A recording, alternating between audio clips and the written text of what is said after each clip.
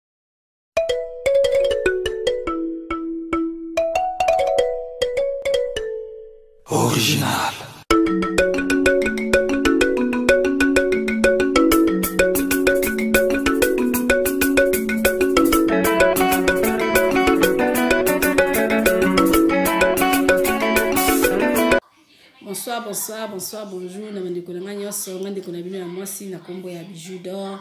Euh, naye kobetela bino kaka lisolo nalobaki ke naoya abetela bino lisolo ya ndeko na ngai moko ya mobali avandi na lubumbashi ndeko na ngai ya mobali apesaki ngai lisolo abi mama biju mekanani kobeta lisolo kopesa bandeko na yo ya basi conseil ya bandeko ya basi oyo bazalaka kewi obali mobali oneglige bana oyo obotaki liboso Conseil na opesa lelo eza kaka pona bana basi te eza pe pona ba papa parce que eza na ba papa mingi pe bazalaka na ba comportement ke soki obotaki liboso avant mariage euh, au négliger bana na yo tango oye kozwa mwasi mosusu en tout cas pona kotalisa bandeko na nga mwana aza lipamboli lipamboli wana eutaka kaka epai ya nzambe kozwa bana eza te ke yo moto oleki bato nyonso tu na mbongo kozwa bana eza te ke yo moto oleki bato nyonso tu na makasi kozwa bana eza te ke yo moto oleki bato nyonso tu na mayele donc eza lipamboli moko eutaka kaka epai ya nzambe donc nzambe kaka moto aponaka mama intel okozwa mwana boye papa intel okozwa mwana boye donc eza makambo na biso te eza makambo ya nzambe soki ozwi bana il faut kozala derrière bango kobokola bango bien na éducation ya bien mpona mwana soki akoli ayeba ke wi mama na nga asalaki quelque chose papa na nga asalaki quelque chose mpona kosala mwa pose moke nalingi kaka kosuete bandeko na nga mibale eh, ba mes condoléances na bandi nani na sedico sedico porte parole ya werrason en tout cas on est ensemble eh, vraiment mes condoléances de ma part nayebi ke eza mpasi makasi kozanga mama mais eloko alobi ya te nga mama biju napesi oka ya courage parceke nzambe moto apesaka epuis nzambe moto azwi nayebi ke kopanza matanga samedi vraiment nayebi ke nyonso to ekoleka na kimia vraiment courage lisusu de ma part naye lisusu kopesa ndeko na ngai ya mwasi avandi na ki na ngiringiri na nkombo ya mama nenete Euh, mwasi ya papa apollinaire napesi yo vraiment bamecondoléance ebele de ma part pona nayebi ke kozanga papa eza pasi mais tosala nini nzambe moto apesaka nzambe ayebi pourkui alongoli papa na mokili vraiment bacourage ebele na famille mobimba nazongi na lisolo na ngai ya lelo eza lisolo moko oyo ezopesa mpasi mingi na motema uh, mama yo mama malamu kutu ata papa asala parceke ya bapapa nayebi ke ezalaka azalaka na yango ozwi mwasi obosani kutu ke obota na yo bana me yo mama yo moto obomi bana no na nef mwa sentiment yango ya nini oyo oh, ozalaka ewi oboti bana na yo mpo ozwi mobali inter okomi kowangana ke bana na yo moto obota bango te nayebi te eloko nini yango oyo ezwaka bamama ya boye eh, ndeko na ngai ya mobali alobi mama bijou beta lisolo nga mama na ngai abotaki ngai na age azalaki na 17 ans euh, naza mwana ya liboso mama na ngai avandaki na papa na biso bavandaki soki deux ans eloko baboya na ngai nayebi te parce que mama na ngai azalaki mwasi ya papa wana mama na ngai azalaki papa wana azalaki mobali ya mama na ngai ya liboso ya vie Euh, eloko baboyanaki ngai nayebi te nazalaki mwana moke mama na ngai aye kozwa mobali moko boye mobali yango azalaki étranger aye kobota uh, mwana na ye moko bo aboti mwana na ye lisusu ya mobali ntango mama na ngai dabord avant abota azwaki mobali wana ayebisa ye mobali wana ke abota te azwaki ngai asundolaki ngai epai ya koko na ngai abandaki lisusu koya kotala ngai te abandaki koya lisusu koluka ngai te donk awangana epai ya mobali na ye asikaki atikala jamais kobota na vie na ye donk euh, ngai nazalaki mwana moke souffrance elekaki noko na nga ayaki azwi nga akei na ye nga epa na ye mama na nga mpe abandaki kosala effort te akokende koluka noko na nga ata akutani na noko na nga boye otuna nga meme pas bandaki kosala mpenza karo ndike kutu atikala kobota mwana moko te na mokili eye osalaki bavandi na mobali na ye wana tititi mwana wana mpenza azalaki trésor azalaki nyonso mpo na mama na biso parce que papa na ye mpe azalaki na mbongo eloko mpe bayaki koboyana lisusu nayebi te mama na ngai koboyana lisusu na mobali na ye aye kozwa lisusu mobali mosusu mobali wana mama na ngai azwaki ye mobali wana alingaki mama na ngai te ntango mama na ngai ayaki kozwa lisusu zemi lisusu ayebisi mobali wana kena aza na zemi mobali wana antuka awanganaki mama na ngai na zemi sikoyo tokomi neti trois garçon ngai noko na ngai asi alongolaki ngai nakendeki antuka tikalaki kozongisa ngai lisusu epai ya koko na ngai te nazalaki na maboko ya noko na ngai mama na ngai ekozonga epai ya koko na ngai akomi neti na bana na ye mibale ya mibali epai ya koko na ngai nzambe aye kosala ye lisusu grâce aye kozwa lisusu mobali mosusu ntango azwi mobali wana awangani alobi na vi na ye atikala kobota ata mwana moko te ayebi kutu porte ya maternité ndenge ezalaka te yango vraiment bapapa mosusu vraiment bandeko na nga mibali mwasi abota bana misato akosi oyo alobi abota te epuis ondimi na yo je sais pas soki mama na biso kuna na afrique asalaki baesthetique ya nzoto en tout cas je crois pas mais mwasi abota soki mobali oza mayele okoyebaki wi mwasi oyo abota ata mwana moko koyeba aye kokosaki abi atikala koye ayebi porte ya maternité te abota te mwana abota te aye kozwa mobali na ye ya sika nzambe aye kosala ye glace azwi lisusu zemi aye kobota mwana mwasi ntango aboti mwana mwasi lokola alingaki mpe papa wana makasi donc azwi apesi bebe na ye wana ya mwasi bolingo makasi bebe na ye wana vraiment azalaki enfa chéri donc mama na biso atambola soki alingi mobali alingi mpe mwana soki aboyi mobali azwi na yo na mobali wana asundoli bino ntango aye kobota mwana na ye wana ya mwasi telema alingaki tata wana mingi antuka bande kogate mwana na ye babandaki kovanda bango misato mwasi mobali wana mpe azalaki na bana na ye liboso me atikala jamais kobom koyebisa mama na ngai ke eh, nabota te mama na ngai ayebaki ke papa wana azalaka na basi na ye papa wana azalaka na bana na ye me ya biso mibale wana mama na biso biso misato plutot mama na biso awanganaki abiki abota na ye te après ba miremire ya nsima mikolo papa wana ye koyeba ke wi biso misato tozalaka bana ya mama wana me mama wana abandaki kolinga biso kaka te me papa wana mpe abandaki koaccepte biso tokóma na ndako ya mama wana te mama na ngai nzambe aye kopesa ye lisusu eh, grâce aye kobota susu mwana mobali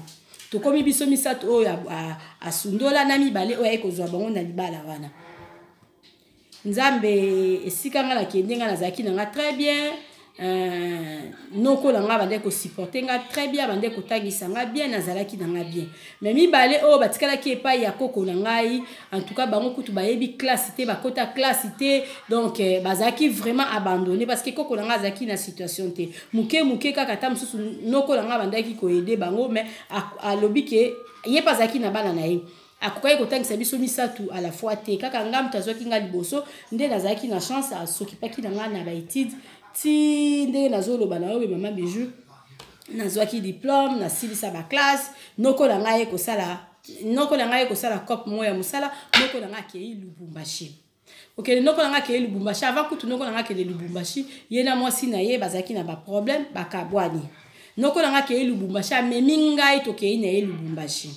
tokomi kuna noko na ngai atali ke wi alongolela mama na ye charge ya mwana moko aye kolongola eh, leki na ngai oyo alandi ngai na nsima mokongo atikeli koko na biso neti mwana moko ya mobali nzambe aye kosala ngai grace nga kutu naye kozwa mosala ya malamu koleka noko na ngai wana nazwi mosala ya bien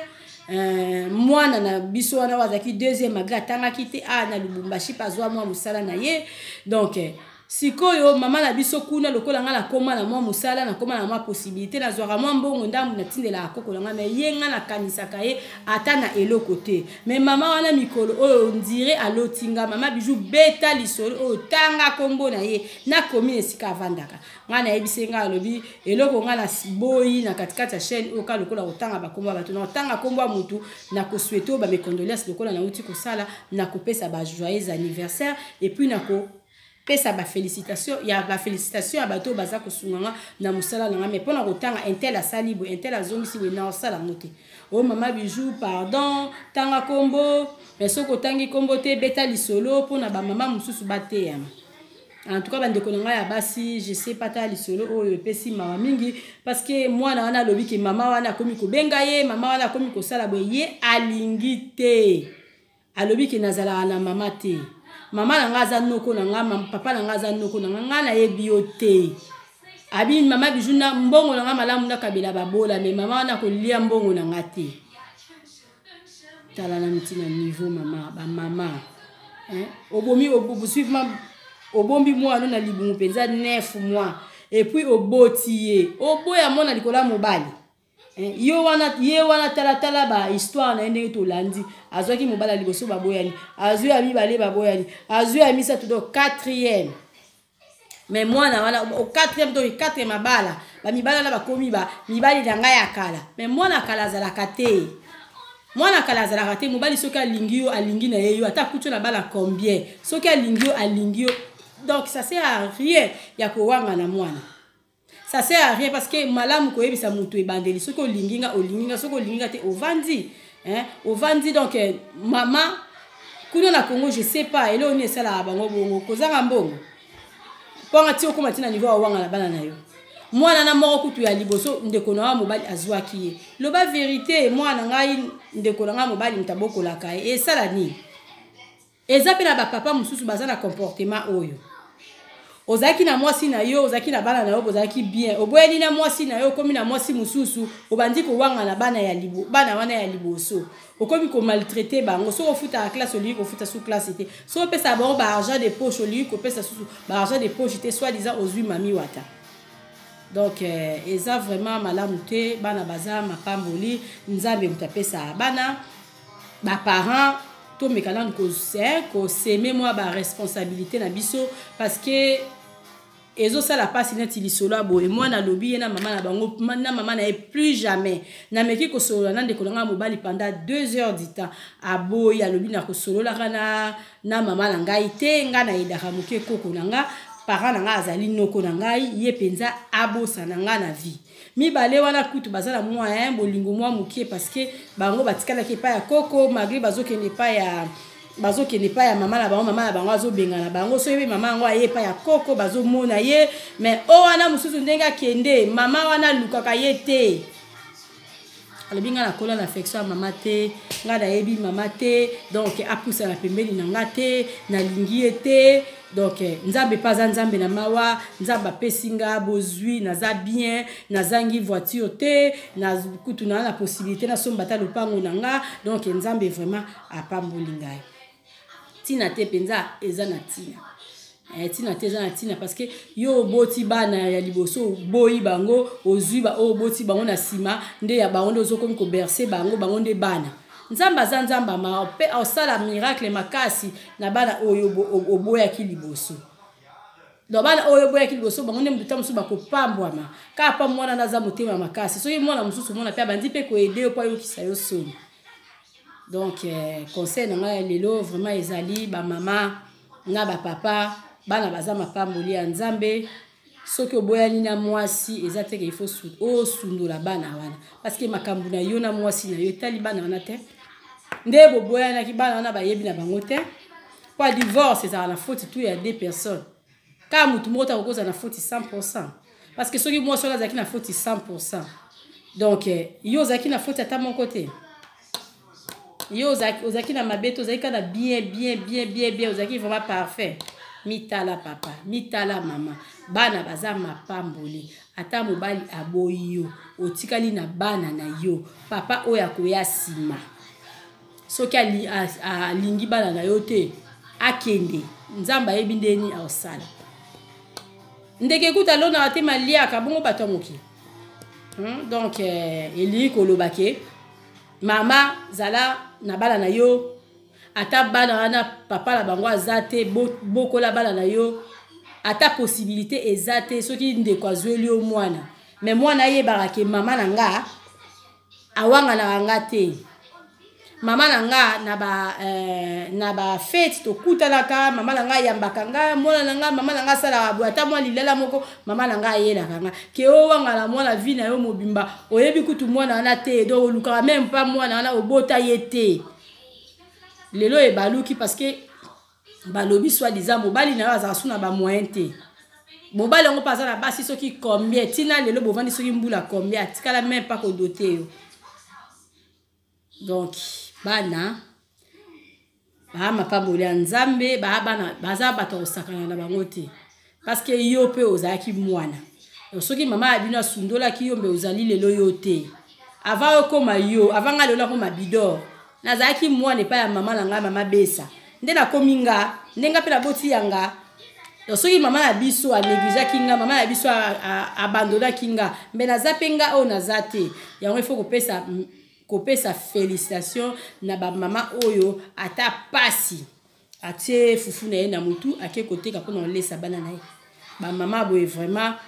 nzambe mpenza apambolaka bino nzambe amonaka bino libala ekufa mama moko banyokwama mpona bana na ye vraiment oza ya nzambe nzambe akotika yo te Et puis bana oyo bakola abongo bazala na vie na bongo mona kaka kia obetelo lisolo alobi ke wi nakola papa akima mama na biso tokola na pasi so otali vie na ye ta mosusu donc nzambe apambola ye donc nzambe atika bamama oyo bazosufri na bana na bango te nzambe mpe akotika papa oyo azosufri mpe na bana na ye te donc ka ya bamama wana soki mpe bapapa na bango namekaki kotuna ndeko na ngai ya mobali bongo sikoyo yo papa na yo akende wapi abi papa na ye akufaki azalaki nanu na ki azalaki mpe nanu mwana mokie natuni lisusu ndeko na ngai ya mobali bongo oyo ya étranger wana papa aza oyo oh, papa azonga mboka na bango papa zonga mboka na bango toyebaka susu nouvelle na ye te natuni lisusu bongo mwana oyo ya misato mama ya bino abotaki papa na ye aza papa na ye akufaki lisusu donc mama wana oza mpe na mal chance d'abord okufela batata bana na yo mibale moko lisusu mboka akende omona oyebi me esika mboka mobali na yo akende swadi eza tata mwana na yo wana bamal chance malédiction ya bana oyo ozobota ozobwaka bango mpo na ngai na koloba kaka kobwaka eteya bamama oyo ya soki okutani na kasete na nga quelque part obota owangana mwana na yo kowangana mosusu ezala na ndenge ta mosusu ya mabe to olinga kosauve mariage na yo oui sauve mariage na yo pourquoi pas ata mosusu mobali apesaki yo condition alobi ke eh, ngai naobo na kobala mwasi abota te ube mwasi oza na bana ebele ngai na kobala yo te oui osauve mariage na yo mais yebela ndenge na kosauve mariage na yo yeba yango bana na quelque part esika bazali ifo olukaka bango ifo otalaka bango kode famille na yo kitoko mais plus tard likambo abongo ebimaka nango kaka malembe malembe yo oyebaka ndenge ya bandokotisa dossier ti ondimisa papa wana bana wana luka yango kaka sala yango parceke likambo ya kobombana sukasuka ebimaka mokolo ekobima lisusu esala susu trouble makasi na kati ya foye na yo quelque part osovaki mariage na yo wi oui. ngai nalobaka ke nakondanaka nanga motu te mpo ngai aza nzambe te nakoki nanga kokondane yo te moto obomba bana mpona osauve mariage na yo wi osali bien parce que mobali wana alobaki ke aoboya aobala peut-être mwasi oyo aza na bana ebele te osali na yo bien mais yeba ndenge nini ya kosala likambo na yo ntina suka bana wana kosundola bango te esika bazali soki eza place ya mpasi pesaka mbongo ya biloko ya kolia zalaka na bango malembe malembe sala tout mobali oyo oza na ye ayeba bana wana mpona ekobima un jour un jour omona mpenza bombe mobali no ayebi yango osuka wapi batata oyo ozalaki na bona eh, obotisi mwasi mwana bato oboyi ye oke kolinga soki mwana moko mwana mwana mwasi mo baboti te obandi kobota mwana ya liboso zwi amour nyonso topesi na bebe wana obosani bana na yo wana ntango mosusu kaka bana wana oyo ozobosana bango bango bakosalisa yo donc conseil na ngai ya lelo vraiment eza claire nazopesa conseil na bamama oyo baabandonaka bana na bango nazopesa conseil na bapapa oyo baabandonaka bana na bango epuis nalobi lisusu ke bana bazala bana baza mapamboli ya nzambe donc eh, ata oza na mbongo soki nzambe abi akopesa omona ata opesa o te okende esika te mpo mokili eza ya ye donc soki apesi yo elingi koloba ke ye moko moto alingi ozwa bango alors il faut s'occupe na bango kitoko osala devoir oyo papa asalaka na bana na ye osala devoir oyo mama asalaka na bana na ye quelque soit kozanga bana wana ifo bazala au courant ke mama na biso azosala boye parce que aza na possibilité te mama na biso azosala boye azokoka kofutela biso classe te parce que aza na moyen te papa na biso afutelaka biso classe te parce que makoki eza te mais balobaka ke papa na biso azalaki na mbongo aboya kotangisa biso c'est pas bien eza vraiment péché eza lisumu epai ya nzambe nde nasukisaka kaka aza na mato ya koyoka ayoka alobaka na bino lisusu bomesana na nga epuis bosi bomesani na nga baoyo balingaka mama bijou nga mpe nalingi bino mingi baoyo balingaka nga te nalingaka bino makasi naopesa merci mingi na bato bazosabone na chaîne na nga tosala makasi d'ici décembre tokokisa ata 1000 abonne eh, esala mama bizu kitoko makasi mama bizu ayebisa ye bino alobi ke ngai naza awa naza na baprojet ya kosunga ya kosalisa baorphelin ya kosalisa bakoka ya kosalisa baveve soki boza koabone ebele ezopesa nga courage merci merci merci na mama ivete mama ivete Mama Yvette na Berkaem. Mama Yvette Okito. Eh, na Berkaem. Obengi nga lelo bi mama bijou merci beaucoup na ba toli ozopesa biso mama bijou merci beaucoup na ba recette ozolakisa en tout cas mama bijou nzambe apambola yo nandimi mapamboli na nga mama Yvette na Berkaem en tout cas on est ensemble nga mpe nalobi ke nzambe mpe apambola yo na ndenge ozwi courage ya kopambola nga mpe nazongiselo mapamboli pesa papa na biso mbote loba bosoutenir mama bijou boyemaka bapage na nga bopartageaka baémission na ngai epuis lisusu boyebisaka bato basabone massivement nde nalobaka napesi mbote na mama na biso Euh, napesi mbote d'abord na famille na ngai mobimba parce que ngai nabandaka nanu na famille na ngai famille mosi napesi bino mbote nalingi bino mingi nayebi ke bolingaka nga epuis boza fiere na ngai na baémission nazosala nalingi bino mingi ya deric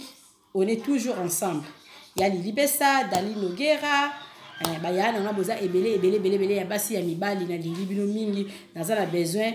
bo soutenir nga toujours bo tindaka bato ba s'abonner bo partageaka ba émission na nga et puis botiaka ba j'aime na ba video nazosala napesi lisusu mbote na ivette na hollande mama ivette nabandai na mama ivette okito napesi sikoyo mama ivette okunji na hollande babizu ebele mama ya bolingo napesi mama jeannette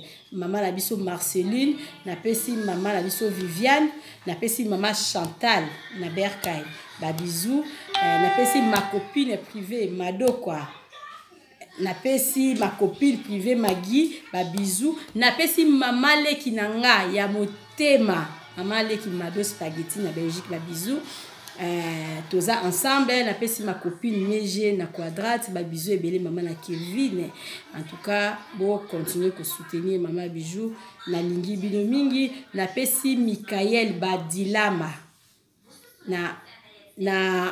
na allemagne babizu ebele ville na oyo esika ovandaka ekimaka nga na motu mama na biso mikael madilamba babizu ebele merci na ndenge okomelaka nga kosoutenir nga mama biju baemission na yo tozotala yango mama biju tozo, eh, toza kosepela na makambo oyo ozoloba antuka nga mpe nasepeli na yo napesi yo babizu pesa famille mobimba mbote de ma part papa na biso eh, juju na arene